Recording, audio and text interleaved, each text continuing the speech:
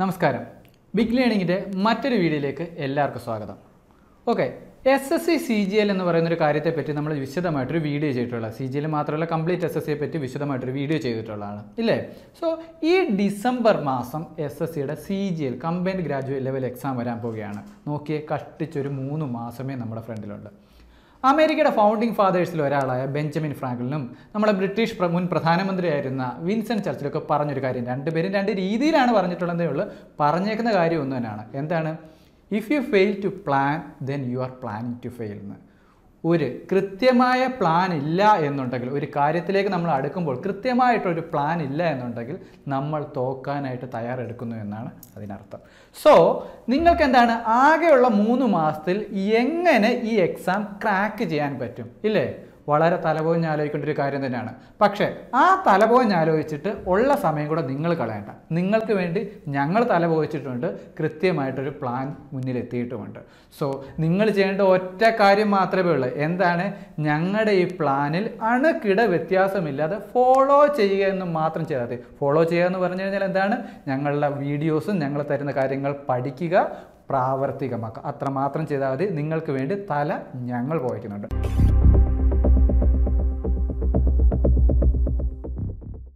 So എന്താണ് plan എന്നാണ് നമ്മൾ ആദ്യം വരേണ്ടത് ഇല്ലേ? സോ നമ്മളൊരു കോഴ്സിലേക്ക് ഏത് അത് സി ജി അല്ലെങ്കിൽ സി ജി എൽ ഇപ്പോൾ സി ജി എൽ എന്നേ ഉള്ളൂ ഏത് കോഴ്സിലാണെങ്കിലും നമ്മൾ അറിയേണ്ടതെന്ന് പറഞ്ഞു കഴിഞ്ഞാൽ ഒരു സ്റ്റഡി പ്ലാൻ ഇടുക എന്നുള്ളതാണ് അല്ലേ സ്റ്റഡി പ്ലാനിൽ ആദ്യം എന്തൊക്കെയാണ് വേണ്ടത്? കൃത്യമായിട്ട് ആ എക്സാമിന് ഏതൊക്കെ സബ്ജക്റ്റുകൾ ഉണ്ടെന്ന് അറിയണം ഇല്ലേ? സോ സി ജി എല്ലിനെ സംബന്ധിച്ച് നോക്കുകയാണെങ്കിൽ പ്രധാനമായിട്ട് നാലാണ് ഓപ്ഷനായിട്ട് ആറ് വരെ വരുന്നുണ്ട്. ബട്ട് പ്രധാനമായിട്ട് നമ്മൾക്ക് നാല് സബ്ജക്റ്റുകളാണുള്ളത് ഈ നാല് സബ്ജക്റ്റുകളെയും പഠിക്കുക ദിവസവും പഠിക്കുക എന്നുള്ളതാണ് ഇതിലെ ഏറ്റവും പ്രധാനപ്പെട്ട ഒരു കാര്യം. സോ പഠിക്കുന്നതിനൊപ്പം എന്താണ് പറയുന്നത്? Previous year M C Qs എന്താണ് മൾട്ടി ചോയ്സ് ക്വസ്റ്റ്യൻസുകളാണ് എന്ന് നിങ്ങൾക്കറിയാം. മുൻ വർഷങ്ങളിലെ ക്വസ്റ്റ്യൻ നിർബന്ധമായിട്ട് നമ്മൾ നോക്കണം. കാര്യം എന്താണെന്ന് പറഞ്ഞു കഴിഞ്ഞാൽ നമ്മൾക്ക് എന്താണ്? കടൽ പോലെ ഇങ്ങനെ സിലബസിനകത്ത് ടോപ്പിക്കുകൾ കിടക്കുകയാണ് ഇതിൽ ഏതൊക്കെ ഏരിയകളാണ് എസ് എസ് സിക്കാർക്ക് ഏറ്റവും ഇഷ്ടമുള്ളതെന്ന് തിരിച്ചറിയണമെങ്കിൽ എന്ത് വേണം? നമ്മൾ പ്രീവിയസ് ഇയർ ക്വസ്റ്റ്യനുകൾ പഠിച്ചേ പറ്റത്തുള്ളൂ. സോ ഈ പ്രീവിയസ് ഇയർ ക്വസ്റ്റ്യൻ എല്ലാം നമ്മൾ എന്ത് പറ്റും? ഈ പ്ലാനിനകത്ത് നമ്മൾ ഇൻക്ലൂഡ് ആക്കിയേ പറ്റത്തുള്ളൂ. സോ പഠിക്കുമ്പോൾ പ്രത്യേകം ശ്രദ്ധിക്കേണ്ട ഒരു കാര്യമുണ്ട്. എന്താണ്? Make short notes or sticky notes ഈ ഷോർട്ട് നോട്ട്സും ട്രിക്കി നോട്ട്സും എന്തിനാണെന്നൊക്കെ ഞാൻ അവസാനം പറഞ്ഞുതരാം. പക്ഷേ ഇത് ഉണ്ടാക്കാൻ മറക്കരുത്. നമുക്ക് വളരെ അത്യാവശ്യമാണ്. എന്താണെന്ന് ശ്രദ്ധിക്കുക. ഞാൻ കൂട്ടത്തിൽ പറഞ്ഞു തരുന്നുണ്ട്. സോ നമ്മളൊരു സ്റ്റഡിയെ പറ്റി നമ്മൾ സബ്ജക്റ്റ് എക്സാമിനെ പറ്റി ഒരു അവയർനെസ് ആയി കഴിഞ്ഞ് കഴിഞ്ഞാൽ നമ്മൾ പിന്നെ ചെയ്യേണ്ടത് എന്താണ്? ഒരു ഷെഡ്യൂൾ ഉണ്ടാക്കണം. സോ എന്തിനാണ് ഈ ഷെഡ്യൂൾ ഉണ്ടാക്കുന്നതെന്ന് പറഞ്ഞു കഴിഞ്ഞാൽ എന്ത് കാര്യത്തിന് നമ്മൾ അത്യാവശ്യം പ്രത്യേകിച്ച് ഒരു എക്സാമിനെ സംബന്ധിച്ച് നോക്കുമ്പോൾ നമ്മുടെ ജീവിതത്തിനും നമ്മുടെ വിജയത്തിനും ഏറ്റവും കൂടുതൽ വേണ്ട ഒരു കാര്യം എന്താണ്? ഒരു നല്ല വൃത്തിയായിട്ടുള്ള ഒരു വ്യത്യാസങ്ങൾ ഉണ്ടാകാത്ത ഒരു ഹാബിറ്റ് ക്രിയേറ്റ് ചെയ്യുന്നത് ഹാബിറ്റ് എന്ന് പറയുമ്പോഴേ വ്യത്യാസം അവിടെ വരില്ല. ഓക്കെ സോ അതായത് കൃത്യമായ ഒരു കൃത്യനിഷ്ഠയുള്ള ഒരു ദിനചര്യ ഹാബിറ്റ് ക്രിയേറ്റ് ചെയ്യുക എന്നുള്ളതാണ് ഈ നമ്മൾ മറന്നൂടാത്തൊരു കാര്യം. എന്തിനാണ് ഈ ഹാബിറ്റ് എന്ന് പറഞ്ഞു കഴിഞ്ഞാൽ? എങ്കിൽ മാത്രമേ ഇതിനൊരു കൺസിസ്റ്റൻസി ഉണ്ടാകത്തുള്ളൂ. അല്ലെങ്കിൽ എന്താണ് ഒരു തുടക്കക്കാരന്റെ ആവേശത്തിലെല്ലാം നിന്നു പോകും കൃത്യമായിട്ട് നമ്മളൊരു ഹാബിറ്റ് ക്രിയേറ്റ് ചെയ്ത് കഴിഞ്ഞാൽ ഒരു കുഴപ്പമില്ല അത് പെതുക്കെ കാരണം അത് നമ്മുടെ ജീവിതത്തിന്റെ ഭാഗമായി കഴിയും. നമുക്ക് പെതുക്കെ അത് വെച്ച് നമുക്ക് മുന്നോട്ട് പോകാൻ പറ്റും. സോ ഹാബിറ്റ് ക്രിയേറ്റ് ചെയ്യാന്ന് പറഞ്ഞാൽ മേക്ക് എ റുട്ടീൻ കൃത്യമായിട്ട് അത് ടൈമും വരെ അതിന്റെ കൺസിഡർ ചെയ്യണം കേട്ടോ. ചിലവർ രാത്രി നൈറ്റേഴ്സ് ആയിരിക്കും. ചിലവർക്ക് രാത്രി ഇന്നേ പഠിക്കാൻ പറ്റും. ചിലവരിൽ നേരത്തെ എണ്ണീക്കുന്നവരായിരിക്കും ചിലവർക്ക് ഉച്ചയ്ക്ക് ഒരു റെസ്റ്റ് എടുക്കേണ്ടി ഒരു പവർ നാപ്പ് എന്നൊക്കെ പറയില്ലേ രണ്ട് മിനിറ്റ് ചിലപ്പോൾ ഉറങ്ങേണ്ടി വരും. സോ അത് depend upon person to person vary ചെയ്യും. അത് എന്ത് തന്നെയാണെങ്കിലും എന്താണ് ആ റുട്ടീൻ ക്രിയേറ്റ് ചെയ്യുക നിങ്ങളായിട്ട് ക്രിയേറ്റ് ചെയ്യുക എന്നുള്ളത് നമ്മൾ പരിപാടി പറഞ്ഞു തരുന്നുണ്ട് ബട്ട് നിങ്ങളുടേതായിട്ടുള്ള മാറ്റങ്ങൾ വരുത്തുള്ളത് കൃത്യമായിട്ടൊരു റുട്ടീനാക്കി മാറ്റണം എന്നുള്ളത് മസ്റ്റാണ് ഓക്കെ സോ എന്താണ് ഈ റുട്ടീൻ കൊണ്ട് ഏറ്റവും ഈ ഹാബിറ്റ് കൊണ്ട് ഗുണമുണ്ടാവുന്നതെന്ന് പറഞ്ഞാൽ എന്താണ്? ഈ ചുരുങ്ങിയ മൂന്ന് മാസം കൊണ്ട് നമുക്ക് ഈ എല്ലാ ടോപ്പിക്കും വളരെ വിശദമായിട്ട് നമുക്ക് പഠിച്ചെടുക്കാൻ പറ്റും. സോ നമ്മൾ എക്സാമിനെ പറ്റി മനസ്സിലാക്കി അത് കഴിഞ്ഞൊരു ഹാബിറ്റ് ഉണ്ടാക്കി ഹാബിറ്റ് ഉണ്ടാക്കുക സബ്ജക്റ്റ് പഠിക്കുകയും കൂടാണ് ചെയ്യുന്നത്. സോ പഠിച്ചു കഴിഞ്ഞാൽ തീർന്നോ? ഇല്ല. എന്താണ്? മോക്ക് ടെസ്റ്റ് എന്ന് പറയുന്നൊരു സാധനം നമ്മുടെ കയ്യിലുണ്ട്. എന്താണ് ഈ മോക്ക് ടെസ്റ്റ് എന്ന് പറഞ്ഞു കഴിഞ്ഞാൽ നമുക്കിപ്പോൾ ഒത്തിരി കാര്യങ്ങൾ അറിയാം. ഈ എല്ലാ കാര്യങ്ങളോട് പരീക്ഷയ്ക്കും ഇല്ല. പരീക്ഷയ്ക്ക് ചോദിച്ച കാര്യങ്ങൾ ഒരു പരീക്ഷയെ എങ്ങനെ വൃത്തിയായിട്ട് നേരിടണം? ക്ലിയർ ആയിട്ട് നിങ്ങൾ ഈ രണ്ട് മണിക്കൂർ അല്ലെങ്കിൽ ഒരു മണിക്കൂർ ഒന്നര മണിക്കൂർ എക്സാമിന് ഇരിക്കുമ്പോൾ എങ്ങനെയാണോ എക്സാം ഹാളിൽ ഒരു കമ്പ്യൂട്ടറിന്റെ ഫ്രണ്ടിൽ ഇരിക്കുന്നത് അതേ രീതിയിൽ നമ്മൾ അത് പ്രാക്ടീസ് ചെയ്യണം. കാരണം ഇല്ലെങ്കിൽ എല്ലാം അറിയാം നമുക്ക് ചെയ്യാൻ പറ്റാത്തൊരു സിറ്റുവേഷനിലേക്ക് വരും. സോ ഒരു എക്സാമിനെ എങ്ങനെ റിയൽ ലൈഫിൽ അഡ്രസ്സ് ചെയ്യുന്നോ. ആ രീതിയിൽ അഡ്രസ്സ് ചെയ്യാനാണ് ഈ മോക്ക് ടെസ്റ്റുകൾ സഹായിക്കുന്നത്. സോ ഈ മോക്ക് ടെസ്റ്റിന് പിന്നെ വേറൊരു കാര്യങ്ങളുണ്ട് കേട്ടോ. നമ്മളെല്ലാം മനുഷ്യരല്ലേ? എന്തെങ്കിലും എമർജൻസി വന്നു കഴിഞ്ഞാൽ ഇപ്പോൾ ഒരു മെഡിക്കൽ എമർജൻസി വരുന്നു. നമുക്ക് ദിവസവും പഠിക്കാൻ പറ്റിയില്ല എന്ന് വരും. മാക്സിമം വരാൻ മെഡിക്കലല്ല അങ്ങനത്തുള്ള എമർജൻസികൾ വരാതിരിക്കട്ടെ. നമ്മുടെ ഹാബിറ്റ് വൃത്തിയായിട്ട് പോകട്ടെ എന്ന് തന്നെയാണ് ഞാൻ ആഗ്രഹിക്കുന്നത്. നിങ്ങൾ അങ്ങനെ ചെയ്യുകയും വേണം. പക്ഷേ മനുഷ്യ സഹജമായ എന്തെങ്കിലും എമർജൻസി വരാമെങ്കിലും നിങ്ങൾ വിട്ടുകൂടാത്ത ഒരു റിക്വസ്റ്റാണ് പഠിക്കാൻ ഒരു ദിവസം ഒന്നോ രണ്ടോ ദിവസം പറ്റിയില്ലെങ്കിൽ പോലും നിർബന്ധമായിട്ട് ചെയ്യേണ്ട ഒന്നാണ് ഈ മോക്ക് ടെസ്റ്റ് കാരണം ഈ മോക്ക് ടെസ്റ്റ് എന്ന് പറയുമ്പോൾ മോക്ക് ടെസ്റ്റ് ചെയ്യുമ്പോൾ പ്രധാനമായിട്ടും ഈ നാല് സബ്ജക്റ്റ് നമ്മൾ വരുന്നുണ്ട്. അതായത് ഈ സബ്ജക്റ്റ് ടച്ച് വിട്ടു പോകാതിരിക്കുക എന്ന് പറയുന്നത് ഒരു എക്സാമിനെ പ്രിപ്പറേഷനെ സംബന്ധിച്ച് വളരെ ഇമ്പോർട്ടന്റ് ആണ്. സോ എന്തൊക്കെ നിങ്ങൾക്ക് സംഭവിച്ചാലും അറ്റ്ലീസ്റ്റ് ഒരു മോക്ക് ടെസ്റ്റ് എങ്കിലും അറ്റ്ലീസ്റ്റ് ചെയ്തിരിക്കണം എന്നാണ് പറയുന്നത്. എന്താണ് ഈ മോക്ക് ടെസ്റ്റ് ചെയ്യുമ്പോൾ വൃത്തിയായിട്ടൊരു കാര്യമാണ് keep up with the time limit എന്താണ്? മോക്ക് ടെസ്റ്റ് നിങ്ങൾക്ക് എത്ര സമയം കൊണ്ട് വെറുതെ ആ ഒരു മോക്ക് ടെസ്റ്റ് കിട്ടി? ഈ അമ്പത് ക്വസ്റ്റ്യൻ ഉണ്ട് അല്ല നൂറ് ക്വസ്റ്റ്യൻ ഉണ്ട്. നമുക്ക് രണ്ട് മണിക്കൂർ ഉണ്ടെന്ന് പറഞ്ഞിട്ട് അല്ലെ ഒന്നര മണിക്കൂർ ഉണ്ടെന്ന് പറഞ്ഞിട്ട് എന്ത് ചെയ്യും? നമ്മൾ തുടങ്ങി എന്താണ് പറഞ്ഞൊരു മാലപ്പടക്കുന്നത് തിരികെ കൊടുത്തിരിക്കുന്ന ചെയ്യുന്ന ഒരു മൂന്നാൽ മണിക്കൂർ കഴിയുമ്പോഴത്തേക്ക് എല്ലാം ചെയ്തു തീരും അങ്ങനെയല്ല മോക്ക് ടെസ്റ്റ് ചെയ്യേണ്ടത്. എങ്ങനെയാണോ എക്സാമിന് റിയൽ എക്സാമിന് ടൈം ഷെഡ്യൂൾഡ് ആയിട്ടുള്ളത് അതേ രീതി തന്നെ കീപ്പ് അപ്പ് ദ ടൈം ഇത്രയും സമയത്തിനകത്ത് തന്നെ ഈ മോക്ക് ടെസ്റ്റുകൾ നിങ്ങൾ എഴുതി തീർക്കാനും നിങ്ങൾ ശ്രദ്ധിക്കണം. സോ കൂട്ടത്തിൽ ശ്രദ്ധിക്കേണ്ട ഒരു കാര്യമാണ് try to avoid negative scores കാരണം എന്താണ്? നെഗറ്റീവ് സ്കോർസിനെ പറ്റി എല്ലാം പറയുന്നത് വൺ ബൈ ഫോർത്ത് ആയിട്ട് വരുന്നുണ്ട് കട്ടാവുന്നുണ്ട് സോ അതുകൊണ്ട് തന്നെ മാക്സിമം ഈ മോക്ക് ടെസ്റ്റുകൾ ചെയ്യുമ്പോൾ നെഗറ്റീവ് ഒഴിവാക്കാൻ ശ്രദ്ധിക്കുക. സോ നമ്മൾ പ്ലാൻ ഇട്ടു പഠിച്ചു തുടങ്ങി നമ്മൾ ഹാബിറ്റ് ഉണ്ടാക്കി മോക്ക് ടെസ്റ്റ് ചെയ്ത് കഴിഞ്ഞു. തീർന്നോ? ഇല്ല. കാരണം മോക്ക് ടെസ്റ്റ് ചെയ്ത് കഴിഞ്ഞാൽ മറന്നുകൂടാത്തൊരു കാര്യമാണ് ടെസ്റ്റ് റിവ്യൂ എന്നുള്ളത്. വൈ ബിക്കോസ് കാരണം ഇപ്പോൾ നിങ്ങൾ നിങ്ങൾ ഇരുന്നൂറ് മാർക്കിന്റെ ഒരു മോക്ക് ടെസ്റ്റ് എഴുതി. നിങ്ങൾക്ക് നൂറ്റൻപത് മാർക്ക് കിട്ടി. ഈ മോക്ക് ടെസ്റ്റ് നിങ്ങൾക്ക് നൂറ്റൻപത് കിട്ടിയെന്ന് പറഞ്ഞിട്ട് അടുത്ത മോക്ക് ടെസ്റ്റിന് റിയൽ എക്സാമിനോ അതിൽ കൂടുതൽ കിട്ടുന്ന ഒരു ഗ്യാരണ്ടി ഇല്ല. ചിലപ്പം കുറയാം. സോ മോക്ക് ടെസ്റ്റ് ചെയ്ത് കഴിഞ്ഞാൽ അത്യാവശ്യമായിട്ട് വേണ്ടതാണ് ഈ മോക്ക് ടെസ്റ്റിനെ റിവ്യൂ ചെയ്യുക എന്നുള്ളത്. റിവ്യൂ ചെയ്യുമ്പോൾ പ്രത്യേകം കോൺസെൻട്രേറ്റ് ചെയ്യേണ്ട ഒരു കാര്യമുണ്ട്. ഇപ്പോൾ എനിക്ക് നാല് ക്വസ്റ്റ്യൻ ക്വാണ്ടിലെ ശരി കിട്ടി. അതുകൊണ്ട് ഞാനത് നോക്കണ്ടെന്ന് പറഞ്ഞാൽ അങ്ങനെ ഒരിക്കലും കളയരുത്. നമ്മൾ ശരിയാക്കിയതും റിവ്യൂ ചെയ്യണം. കാരണം അതിനകത്ത് മൂന്ന് തെറ്റ് ഓപ്ഷനുകളുണ്ട് ഓക്കെ സോ ശരിയാക്കിയത് റിവ്യൂ ചെയ്യണം. നമ്മൾ തെറ്റിച്ചതും റിവ്യൂ ചെയ്യണം. നമ്മൾ ചെയ്യാതെ സ്കിപ്പ് ചെയ്തതും സോ റിവ്യൂ ചെയ്യാന്ന് പറഞ്ഞാൽ ഈ നൂറ് ക്വസ്റ്റ്യൻ എന്റെ നൂറ് ക്വസ്റ്റ്യൻ നൂറെങ്കിൽ നൂറ് ഇരുന്നൂറെങ്കിൽ ഇരുന്നൂറ് up to you okay so ആ ഇരുന്നൂറ് ക്വസ്റ്റ്യൻ അല്ലെങ്കിൽ നൂറ് എത്ര ക്വസ്റ്റ്യൻ ഉണ്ടോ അത്രയും ക്വസ്റ്റ്യൻ നിങ്ങൾ എന്ത് ചെയ്തിരിക്കണം? നിങ്ങൾ റിവ്യൂ ചെയ്തിരിക്കണം. ഇതിന്റെ മറ്റൊരു ഗുണം എന്താണെന്ന് പറഞ്ഞാൽ compare the score with last year cut off നമ്മൾ എവിടെ നിൽക്കുന്നു? നമ്മൾ പഠിച്ചു കഴിഞ്ഞിട്ട് all India level Kerala Karnataka റീജിയനൊക്കെ മത്സരിക്കുവാണ്. സോ നമ്മുടെ മാർക്ക് ഓൾ ഓവർ ഇന്ത്യ അല്ലെ റീജിയൻ വൈസ് നോക്കുമ്പോൾ നമ്മൾ എവിടെ നിൽക്കും നമ്മുടെ കറന്റ് പൊസിഷൻ എന്താണ് എന്ന് വളരെ വൃത്തിയായിട്ട് നമുക്ക് മനസ്സിലാക്കാൻ സഹായിക്കുന്നത് ഈ റിവ്യൂ വഴിയാണ്. അതുകൊണ്ട് തന്നെ എന്തോ ചെയ്യാൻ പറ്റും? നമ്മൾ ഇമ്പ്രൂവ് ചെയ്യാൻ ഏറ്റവും കൂടുതൽ സഹായിക്കുന്നത് ഈ റിവ്യൂ ആയിരിക്കും. സോ എക്സാം എഴുതി റിവ്യൂ കഴിഞ്ഞാൽ ഇനി ഒട്ടും തന്നെ മറന്നുകൂടാത്തൊരു കാര്യമാണ്. റിവിഷൻ ഈ റിവിഷൻ എന്തിനാണ് എന്ന് പറഞ്ഞു കഴിഞ്ഞാൽ മറവി. മനുഷ്യ സഹജമായിട്ടുള്ളൊരു ഫിനോമിന ഒരു ഹ്യൂമൻ അല്ല എല്ലാവർക്കും ഉള്ള ഒരു ബേസിക് ആയിട്ടുള്ള കാര്യമാണ്. സോ മറവി എന്ന് പറയുന്നത് പലപ്പോഴും ഒരു അനുഗ്രഹമാണ്. പക്ഷെ ഒരു എക്സാം പ്രിപ്പറേഷനെ സംബന്ധിച്ച് ഒരു എക്സാമിനെ സംബന്ധിച്ചിടത്തോളം മറവി ഒരു അനുഗ്രഹമല്ല. അതുകൊണ്ട് തന്നെ പക്ഷേ മറവി ഓവർകം ചെയ്യാൻ എന്താണ് നമ്മൾ ചെയ്യേണ്ടത്? അതിനാണ് ഈ റിവിഷൻ ഇരിക്കുന്നത്. സോ മസ്റ്റായിട്ട് അതായത് നിങ്ങൾ പഠിച്ച് പഠിച്ച് പോവുകയല്ല ചെയ്യേണ്ടത്. എന്താണ് പറയുന്നത്? അറ്റ്ലീസ്റ്റ് വീക്ക്ലി വൺസ് ഇന്ന് തിങ്കൾ തൊട്ട് നിങ്ങൾ ശനി വരെ പഠിച്ചാൽ ഞായറാഴ്ച ഒരു വീക്കിൽ ആ പഠിച്ച കാര്യങ്ങൾ റിവൈസ് ചെയ്തേ പറ്റൂ. ഇല്ലെങ്കിൽ പഠിച്ച കാര്യങ്ങളിൽ ഒരു അറുപത് ശതമാനം മറന്നു പോകാനുള്ള സാധ്യതയുണ്ട്. ഈ റിവൈസ് ചെയ്യുമ്പോഴത്തേക്ക് നമ്മൾ തുടക്കത്തിൽ പഠിച്ച രീതി ഫുൾ ടൈം കളയാൻ പറ്റില്ല കാരണം ഒരാഴ്ച പഠിച്ചായിരിക്കും ചിലപ്പോൾ ഒരു ദിവസം കൊണ്ട് റിവൈസ് ചെയ്യേണ്ടത്. സോ അവിടെയാണ് ഞാൻ തുടക്കത്തിൽ ഒരു കാര്യം പറഞ്ഞു നിന്നില്ല എന്താണ്? മേക്ക് ഷോ നോട്ട്സ് അല്ലെ സ്റ്റിക്കി നോട്ട്സ് എന്ന് പറഞ്ഞത് ഇവിടെയാണ് ഈ റിവൈസ് ചെയ്യുമ്പോഴാണ് ഈ നോട്ട്സ് സ്റ്റിക്കി നോട്ട്സ് നമ്മളെ വളരെയധികം സഹായിക്കുന്നത്. കാരണം റിവൈസ് ചെയ്യുമ്പോൾ ഫുള്ളിരുന്ന് നമ്മൾ പഠിക്കാൻ പോകില്ല നമ്മൾ പഠിച്ചുകൊണ്ടിരുന്നപ്പോൾ മാർക്ക് ചെയ്തപ്പോൾ ഇമ്പോർട്ടന്റ് സാധനങ്ങൾ മാത്രം നമ്മൾ റിവൈസ് ചെയ്യാതെ പറ്റി ബാക്കിയുള്ളത് ഓട്ടോമാറ്റിക്കൾക്ക് നമ്മൾ മെമ്മറൈസ് ആയി വന്നോളും. സോ അതുകൊണ്ട് തന്നെ അതിനാണ് ഞാൻ പറഞ്ഞത്. അവസാനം ഞാൻ പറയാം ഈ ഷോർട്ട് നോട്ട്സിനെ ടിക്കി നോട്ട്സിനെ പറ്റി പറയാമെന്ന് പറഞ്ഞതാണ്. So revision at least weekly once എങ്കിലും അത് ചെയ്യുക എന്താണ്? അതിന്റെ കൂട്ടത്തിൽ സബ്ജക്റ്റ് വൈസും ടോട്ടലായിട്ടും എല്ലാം റിവൈസ് ചെയ്യുക. സോ ഇതാണ് ഞങ്ങൾ പ്രിപ്പയർ ചെയ്തിരിക്കുന്ന ഒരു പ്ലാനിന്റെ ഔട്ട്ലുക്ക് എന്ന് പറയുന്നത്. ഈ പ്ലാൻ എന്ന് പറയുന്നത് ഈ മേഖലയിൽ അതായത് കോമ്പറ്റേറ്റീവ് എക്സാം മേഖലയിൽ വളരെയധികം പ്രാക്ടീസ് ഉള്ള പരിചയമുള്ള അധ്യാപകരാൾ നിർമ്മിച്ചതാണ്. അതുകൊണ്ട് തന്നെ ഇതിനകത്ത് ഫെയിലുകളൊന്നും ഉണ്ടാവത്തില്ല. നിങ്ങൾ കൃത്യമായിട്ട് ഫോളോ ചെയ്താൽ മാത്രം മതി.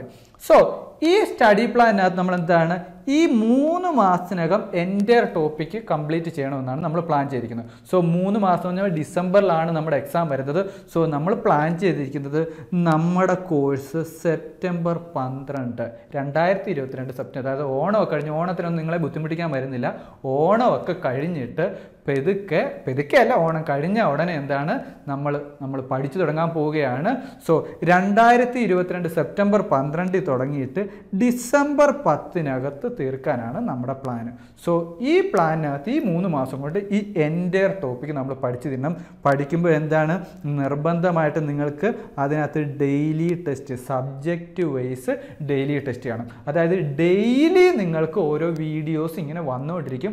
അതിനെ കറസ്പോണ്ട് ചെയ്തിട്ടുള്ള നിങ്ങൾക്ക് സബ്ജക്റ്റ് വൈസ് ടെസ്റ്റുകളും നമ്മൾക്ക് തരുന്നുണ്ടായിരിക്കും. ഓക്കെ സോ ഈ ടെസ്റ്റിനകത്ത് നമുക്കറിയാം പ്രധാനമായിട്ട് നമുക്ക് എന്തുണ്ട് ക്വാണ്ട് ഉണ്ട് ഇംഗ്ലീഷ് ഉണ്ട് പിന്നെ ജനറൽ അവയർനെസ് ഉണ്ട് പിന്നെ എന്താണ് വരുന്നത്?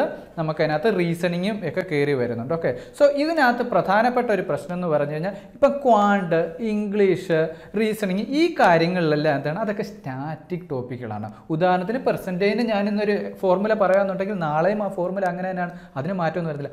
അത് സ്റ്റാറ്റിക് ആയിട്ട് നിന്ന് പോവുകയാണ് പക്ഷേ ഡൈനാമിക് ആയിട്ടുള്ള സാധനമുണ്ട് ഇതിനകത്ത് പ്രധാനമായിട്ടും കറണ്ട് അഫയേഴ്സ് ആണ് ഡൈനാമിക് ആയിട്ട് വരുന്നത്. ജി കെ ഇതിനകത്ത് വരുന്നത് ഡൈനാമിക് ജി കെയിൽ സ്റ്റാറ്റിക് കണ്ടന്റ് ഉണ്ട്. എങ്ങനെയാണെന്ന് വെച്ചാൽ ഇപ്പം നമുക്ക് സ്വാതന്ത്ര്യം കിട്ടി എന്നാന്ന് ചോദിച്ചാൽ ആയിരത്തി തൊള്ളായിരത്തി നാൽപ്പത്തേഴ് ഓഗസ്റ്റ് പതിനഞ്ച് അതിന് ലോകാവസാനം വരെ അത് അങ്ങനെ തന്നെയായിരിക്കും അത് സ്റ്റാറ്റിക് ആണ് ജി കെയിൽ പക്ഷേ ജി കെയിൽ വരുന്ന കറന്റ് അഫയേഴ്സ് എന്ന് പറയുന്നത് എന്താണ്?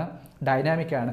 നമ്മൾ ഞാൻ ഈ പറഞ്ഞിരിക്കുന്ന സെക്കൻഡ് നിങ്ങൾ ഇത് കേട്ടുകൊണ്ടിരിക്കുന്ന ആ മൊമെന്റിൽ തന്നെ ഓരോരോ ജി കെ പുതിയതായിട്ട് ഉണ്ടായിക്കൊണ്ടിരിക്കുന്നത് ഓരോരോ ജി കെയിൽ ലക്ഷക്കണക്കിൽ ജി കെ ഉണ്ടായിക്കൊണ്ടിരിക്കുന്നത് സോ അതുകൊണ്ട് തന്നെ കറണ്ട് അഫയേഴ്സിനെ നമ്മൾ വളരെ പ്രിസൈസ് ആയിട്ട് വളരെ കൃത്യമായിട്ട് പ്ലാൻ ചെയ്യണം. സോ നമ്മൾ പ്ലാൻ ചെയ്യുന്ന കറണ്ട് അഫയേഴ്സ് എന്ന് പറഞ്ഞു കഴിഞ്ഞാൽ ഈ സെപ്റ്റംബറിലാണ് നമ്മൾ കോഴ്സ് തുടങ്ങുന്നത്. ഈ സെപ്റ്റംബർ തൊട്ട് ഡിസംബർ വരെ ഉള്ളത് അപ്പോഴത്തെ കറണ്ട് അഫയേഴ്സ് ആണ്. പക്ഷേ എക്സാം ഓറിയന്റേഷനായിട്ട് നമ്മൾ നോക്കുമ്പോൾ എക്സാമിന്റെ വ്യൂവിൽ കൂടെ നോക്കുമ്പോൾ കറണ്ട് അഫയേഴ്സ് എന്ന് പറഞ്ഞു കഴിഞ്ഞാൽ അറ്റ്ലീസ്റ്റ് നവംബർ രണ്ടായിരത്തി ഇരുപത്തൊന്ന് തൊട്ട് നവംബർ രണ്ടായിരത്തി ഇരുപത്തിരണ്ട് വൺ ഇയർ ബിഫോർ വരെയുള്ള സബ്ജക്റ്റുകൾ ജി കെ കറണ്ട് അഫയേഴ്സ് കയറി വരാം. സോ അതുകൊണ്ട് ഈ മൂന്ന് മാസങ്ങളിൽ നമ്മൾ ഈ അന്നന്ന ദിവസത്തെ കറണ്ട് അഫയേഴ്സ് പഠിച്ചാൽ പോരാ. പ്രീവിയസ് മന്ത്സിന്റെ വൺ ഇയർ ബാക്കിലേക്ക് പോയി നമ്മൾ പഠിച്ചേ പറ്റത്തുള്ളൂ. സോ അത് എങ്ങനെ പഠിക്കണം എന്ന് പറഞ്ഞാൽ ഞങ്ങൾ പ്ലാൻ ചെയ്തിരിക്കുന്നതെന്ന് പറഞ്ഞു കഴിഞ്ഞാൽ ഈ രണ്ടായിരത്തി ഇരുപത്തൊന്ന് നവംബർ തൊട്ട് ഈ നവംബർ രണ്ടായിരത്തി ഇരുപത്തിരണ്ട് തൊട്ടുള്ള എല്ലാ മാസത്തെയും കറണ്ട് അഫയേഴ്സ് അതായത് രണ്ടായിരത്തി ഇരുപത്തൊന്ന് ഉദാഹരണം പറയുമെങ്കിൽ രണ്ടായിരത്തി ഇരുപത്തൊന്ന് നവംബറിൽ കറണ്ട് അഫയേഴ്സ് എല്ലാം കൂടെ കമ്പയർ ചെയ്തിട്ട് ആഴ്ചയിൽ ഒരിക്കൽ നിങ്ങൾക്ക് ആ ഒരു മാസം രണ്ടായിരത്തി ഇരുപത്തൊന്ന് നവംബറിൽ ഒരു ക്ലാസ് നമ്മൾ തരും. കംപ്ലീറ്റ് ആ മാസത്തെ കറണ്ട് അഫയേഴ്സ് കമ്പൈൽ ചെയ്തിട്ട് നിങ്ങൾക്ക് തരും. ഓക്കെ സോ അടുത്ത ആഴ്ച ആകുമ്പോഴത്തേക്ക് രണ്ടായിരത്തി ഇരുപത്തൊന്ന് ഡിസംബറിൽ കമ്പൈൽ ചെയ്ത് തരും. നെക്സ്റ്റ് വീക്ക് ആകുമ്പോഴത്തേക്ക് രണ്ടായിരത്തി ഇരുപത്തിരണ്ട് ജനുവരിയിൽ തരും ഫെബ്രുവരിയിൽ തരും. അങ്ങനെ വീക്ക്ലി വീക്ക്ലി നമ്മൾ എന്ത് ചെയ്യും? ഈ കറണ്ട് അവേഴ്സ് പ്രീവിയസ് മന്ത്സിലെ വൺ ഇയർ ബാക്കിലേക്ക് വരുന്ന മന്ത്സിലെ കറണ്ട് അവേഴ്സിന്റെ നമ്മൾ ഓരോ ക്ലാസ്സുകൾ നിർബന്ധമായിട്ട് നമ്മൾ തന്നിട്ടുണ്ടാവും. സോ ഇത് പഠിക്കുമ്പോൾ എന്താണ്? നിങ്ങൾക്ക് ഈ ക്ലാസ് കിട്ടിയാൽ മാത്രം പോരാല്ലോ. സോ ഇത് നമ്മൾ യൂട്യൂബ് വഴി അല്ലെങ്കിൽ ചാനൽ അല്ലെങ്കിൽ ചാനൽ ആപ്പ് വഴി ആപ്പ് ആ പ്ലാറ്റ്ഫോം വഴി ആയിരിക്കും നമ്മൾ തരുന്നത്. അതെല്ലാം നിങ്ങളെ മുൻകൂട്ടി അറിയിക്കുന്നതായിരിക്കും. സോ ഇത് കഴിഞ്ഞാൽ എന്തായിരിക്കും? നമ്മൾ ഈ കാര്യം തന്നാൽ മാത്രം പോരല്ലേ? ഇത് ഓർമ്മ നിൽക്കുക നിങ്ങൾക്ക് ടെസ്റ്റായിട്ട് ചെയ്യാൻ വേണ്ടത് അതുകൊണ്ട് തന്നെ ഈ കറണ്ട് അഫയേഴ്സിന്റെ എക്സാമിന് എല്ലാ എക്സാം നടക്കുന്ന അന്ന് വരെ എന്നാണോ സി ജിയിൽ നടക്കുന്നത്? അന്ന് വരെയുള്ള എല്ലാ ശനിയാഴ്ചകളിലും ഈ തന്നിരിക്കുന്ന കറണ്ട് അഫയേഴ്സിനെ കമ്പയർ ചെയ്തിട്ടുള്ള എക്സാമുകളും നമ്മൾ നടത്തുന്നതായിരിക്കും. സോ ഈ കറണ്ട് അഫയേഴ്സ് എന്ന് പറഞ്ഞാൽ പറഞ്ഞില്ലേ രണ്ടായിരത്തി ഇരുപത്തൊന്ന് തൊട്ട് രണ്ടായിരത്തി നവംബർ വരെ അല്ലാത്ത കൂട്ടത്തിൽ. അത് നമ്മൾ പറയുന്നത് പാസ്റ്റ് കറണ്ട് അഫയേഴ്സ് തന്നെ പറയേണ്ടി വരും. കറന്റ്ലി കറണ്ട് അഫയേഴ്സ് നടക്കുന്നുണ്ടല്ലോ. അതും കൂട്ടത്തിൽ പഠിക്കണ്ടേ. കാരണം ഇപ്പോൾ നമ്മൾ ഒരു കറണ്ട് അഫയേഴ്സ് നാളെ പുതിയ കറണ്ട് അഫയേഴ്സ് വരും. സോ ഈ മുന്നേ ഉള്ള പഠിക്കുമ്പോൾ ഇപ്പോൾ ഉള്ളത് നമുക്ക് അവഗണിക്കാൻ പറ്റത്തില്ല. അതും ഇമ്പോർട്ടന്റ് ആണല്ലോ. സോ അതുകൊണ്ട് തന്നെ കറണ്ട് അഫയേഴ്സിന് ഞങ്ങൾ രണ്ടായിട്ടാണ് മന്ത്ലി കറണ്ട് അഫയേഴ്സ് എന്ന് പറഞ്ഞൊരു പ്രീവിയസ് നവംബർ തൊട്ടുള്ള തരുന്നുണ്ട്. അതുകൂടാതെ കറണ്ട് അഫയേഴ്സ് ഇപ്പോൾ നടക്കുന്ന current affairs weekly current affairs ആയിട്ട് നമ്മൾ തരുന്നുണ്ട്. അതായത് ഇപ്പം ഈ തിങ്കൾ തൊട്ട് ഈ ശനി വരെയുള്ള കറണ്ട് അഫയേഴ്സ് എല്ലാം കൂടെ കമ്പയർ ചെയ്തിട്ട് ഞായറാഴ്ചയോ അല്ലെങ്കിൽ വെരി നെക്സ്റ്റ് ഡേ മൺഡേയോ നമ്മൾ തരും. സോ അതാണ് എന്താണ് പറയുന്നത്? Weekly current affairs from September through YouTube എന്ന് പറയുന്നത്. ഓക്കെ സോ അതായത് അതാത് ആഴ്ചകളുള്ള എല്ലാം കൂടെ കമ്പയർ ചെയ്തിട്ട് നമ്മൾ തരും. മുന്നേ ഞാൻ പറഞ്ഞു പ്രീവിയസ് മന്തിലേക്കുള്ള എന്താണ് ഫ്രൈ സോറി സാറ്റർഡേകൾ ശനിയാഴ്ച എല്ലാ ശനിയാഴ്ചകളുമാണ് എക്സാം നടക്കുന്നതെങ്കിൽ ഈ കറണ്ട് അഫയേഴ്സിന്റെ എക്സാം എന്ന് പറഞ്ഞാൽ എല്ലാ വെള്ളിയാഴ്ച തോറും ഈ വീക്കിലി കറണ്ട് അഫയേഴ്സിന്റെ എക്സാമും നമ്മൾ കണ്ടക്ട് ചെയ്തായിരിക്കും സോ ഈ കറണ്ട് അഫയേഴ്സിന്റെ എക്സാമുകളെല്ലാം കഴിഞ്ഞ് കഴിഞ്ഞാൽ എന്തോ പറ്റും? എക്സാം നമ്മുടെ മെയിൻ സി ജി എൽ നടക്കുമ്പോഴേക്കും നമ്മൾ എന്ത് പറ്റും? ഈ മന്ത്ലിയും വീക്കിലിയും എല്ലാം കമ്പയർ ചെയ്തിട്ട് റിവിഷനും ടുവേഡ്സ് മോർ ടെസ്റ്റുകളും ആ ലാസ്റ്റ് മൊമെന്റിലേക്ക് നമ്മൾ കൂടുതൽ കൂടുതൽ തരുന്നതായിരിക്കും. സോ ഇത് കഴിഞ്ഞ് എന്താണ്? സോ നമ്മളിപ്പോൾ എന്താണ്? സബ്ജക്റ്റ് വൈസ് നമ്മൾ പഠിക്കുന്നുണ്ട് ഇല്ലേ? സോ ഈ സബ്ജക്റ്റ് വൈസ് പഠിക്കുന്നുണ്ട് സബ്ജക്റ്റ് വൈസ് ഡെയിലി നമ്മൾ എക്സാം ചെയ്യുന്നുമുണ്ട് പക്ഷേ ഇത് കഴിഞ്ഞല്ല എന്താണ്? നമ്മൾ അറിഞ്ഞില്ലേ ഈ നാല് സബ്ജക്റ്റുകളൊക്കെ മിക്സ് ആയിട്ടാണ് കമ്പൈൻ ചെയ്തിട്ടാണ് മെയിൻ എക്സാം വരുന്നത്. സോ അതുകൊണ്ട് തന്നെ correct exam C G L എങ്ങനെയാണെന്ന് ചോദിക്കുന്നത്? ആ രീതിയിൽ തന്നെ നമുക്ക് എക്സാം ചെയ്യട്ടെ അതാണ് full mock test on every Sunday till exam എന്ന് പറയുന്നത്. അതായത് എല്ലാ ഞായറാഴ്ചകളും നിങ്ങൾക്ക് എന്ത് പറ്റും? എങ്ങനെയാണോ നിങ്ങളൊരു സി ജി എൽ എഴുതുന്നത് ആ രീതിയിൽ തന്നെയുള്ള മോക്ക് ടെസ്റ്റുകൾ എക്സാം എന്നാണോ നടക്കുന്നത് അന്ന് വരെയുള്ള എല്ലാ ഞായറാഴ്ചകളും ഞങ്ങൾ ഫ്രീ മോക്ക് ടെസ്റ്റുകൾ തരുന്നതായിരിക്കും. ഓക്കെ പിന്നെ എന്താണ് പറയുന്നത്? ഇമ്പോർട്ടന്റ് ആയിട്ടുള്ള ക്ലാസ്സുകൾ വളരെയധികം ഇമ്പോർട്ടന്റ് ആയിട്ടുള്ള ഈ കോർ ഏരിയസിൽ നിന്നുള്ള ക്ലാസ്സുകളെല്ലാം എന്താ പറ്റും? യൂട്യൂബ് വഴിയും ഞങ്ങൾ ഡേ ബൈ ഡേ തന്നുകൊണ്ടേ ഇരിക്കും അത് അപ്ഡേറ്റും ചെയ്തുകൊണ്ടേ ഇരിക്കും പിന്നെ എന്താണ് പറയുന്നത്? നിങ്ങൾ പഠിച്ചാൽ മാത്രം പോരല്ലോ. പഠിക്കുമ്പോഴാണല്ലോ വരുന്നൊരു പ്രധാന സംഗതി ഉണ്ട് എന്താണ്? ഡൗട്ട് പഠിക്കുമ്പോൾ മാത്രം വരുന്നൊരു സംഗതിയാണ് ഡൗട്ട് ഡൗട്ട് ഉടലെടുക്കണം ഡൗട്ടാണ് എല്ലാത്തിനും നല്ല നമ്മുടെ ഇമ്പ്രൂവ്മെന്റ് ആധാരമാണ്. സോ ഈ ഡൗട്ട് വന്നിട്ട് ഇപ്പം ഫോർ എക്സാമ്പിൾ ഇന്ന് ഞാൻ ക്വാണ്ടിന്റെ ഒരു ക്ലാസ് എടുത്ത്. ഓക്കെ ഇനി അടുത്ത ആഴ്ചയാണെങ്കിൽ എനിക്കൊരു ക്ലാ ക്വാണ്ടിന്റെ ക്ലാസ് വരുന്നതെങ്കിലോ ഈ ഇന്നുണ്ട് ഡൗട്ട് നിങ്ങൾ അടുത്ത ആഴ്ച ഒരു വെയിറ്റ് ചെയ്യൂ. ഒരിക്കലും പാടില്ല. ഡൗട്ടുകൾ അപ്പോഴപ്പോൾ ക്ലിയർ ചെയ്ത് പോകണം. ഇല്ലെങ്കിൽ എന്ത് പറ്റും? ഇങ്ങനെ ഡൗട്ടുകൾ അക്യുമുലേറ്റ് ചെയ്ത് അവസാനം ഒരു അവിയൽ പരുവായി പോകും അതുകൊണ്ട് തന്നെ എന്താണ് ഡൗട്ടുകൾ ഓൺ ദി സ്പോട്ട് ക്ലിയർ ചെയ്യാൻ വേണ്ടി നമ്മൾ എന്താണ്? നമുക്കൊരു ടെലിഗ്രാം ഗ്രൂപ്പ് ഉണ്ട്. ആ ഗ്രൂപ്പ് വഴി നിങ്ങൾ എപ്പോൾ doubt ഇടുന്നോ on the spot at the list ഒരു ഡിലേയും വരത്തില്ല. അറ്റ് ദ ലിസ്റ്റ് തന്നെ ആ ഡൗട്ടുകളെല്ലാം നിങ്ങൾക്ക് ക്ലിയർ ക്ലിയർ ചെയ്യാൻ വേണ്ടി എന്താ പറ്റും? എക്സ്പെർട്ട് ഫാക്കൽറ്റീസ് അവിടെ വെയിറ്റിംഗ് ആണ്. സോ അവർ വെയിറ്റിംഗ് ആണ്. നിങ്ങൾ ഡൗട്ട് ചോദിക്കേണ്ട താമസം മാത്രമേ എവിടെയുള്ളൂ സോ ഇങ്ങനെ മൂന്ന് മാസം കൊണ്ട് നമ്മുടെ എന്റയർ കോംപ്രിഹെൻസീവ് ആയിട്ടുള്ള നമ്മുടെ ഈ ഈ സി ജി എല്ലിന് വേണ്ടിയുള്ള എന്റെ തിങ് തരാനാണ് നമ്മൾ ഉദ്ദേശിച്ചിട്ടുള്ളത്. സോ ഞാൻ തുടക്കത്തിൽ പറഞ്ഞിട്ടുണ്ടായിരുന്നു നിങ്ങൾ ചെയ്യേണ്ട ഒറ്റ കാര്യമേ ഉള്ളൂ. എന്താണ്? കൃത്യമായിട്ട് ഞങ്ങൾ ഈ തരുന്ന പ്ലാൻ വഴി മുന്നോട്ട് പോവുക. വേറെ ഒന്നും നിങ്ങൾ ചെയ്യേണ്ട. അപ്പോൾ നിങ്ങൾക്ക് സ്വാഭാവികമായിട്ട് ഡൗട്ട് വരും. ഏ അത്രയും ചെയ്താൽ മതിയോ? ഇതിനെന്താണ് കാശ് തരണ്ടേ? വേണ്ടെന്നേ ഇത് നിങ്ങൾക്ക് ഫ്രീ ആയിട്ട് തന്നെ തരുന്നതാണ്. ഇത് ഞങ്ങൾ നിങ്ങൾ ഒരു നല്ല പൊസിഷനിൽ എത്തുക. അത് ഞങ്ങളുടെയും കൂടെ വളർച്ചയ്ക്ക് സഹായിക്കുന്നതാണ്. അതുകൊണ്ട് തന്നെ നിങ്ങൾ വളരുക എന്നുള്ളത് ഞങ്ങളും വളരുന്നതിന് തുല്യമാണ്. അതുകൊണ്ട് തന്നെ ഈ എന്റെ ത്രീ മന്ത് കോഴ്സ് എന്ന് പറയുന്നത് നിങ്ങൾക്ക് ഫ്രീ ആയിട്ടാണ് തരുന്നത്. അതുകൊണ്ട് ഞാൻ പറഞ്ഞു ഒറ്റ കാര്യം മാത്രം നിങ്ങൾ ചെയ്താൽ മതി. കൃത്യമായിട്ട് നമ്മുടെ പ്ലാൻ അനുസരിച്ച് മുന്നോട്ട് പോവുക പഠിക്കുക. ഓക്കെ അപ്പം നല്ല നല്ല പോസ്റ്റുകൾ എത്തുമ്പോൾ നമുക്ക് ഇനിയും കാണാം. മറക്കാതെ തന്നെ നമ്മുടെ ചാനലും സബ്സ്ക്രൈബ് ചെയ്യുക. മറ്റൊരു വീഡിയോ ആയിട്ട് ഇനിയും കാണാം. അതുവരെ ബൈ